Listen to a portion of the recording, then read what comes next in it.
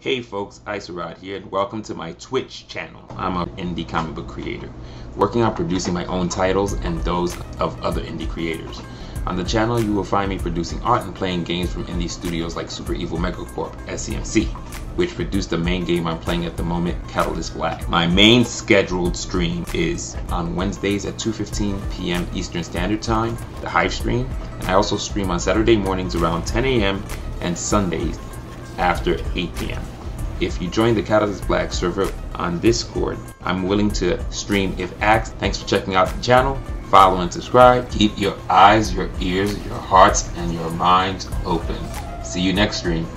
I am the king of the primals.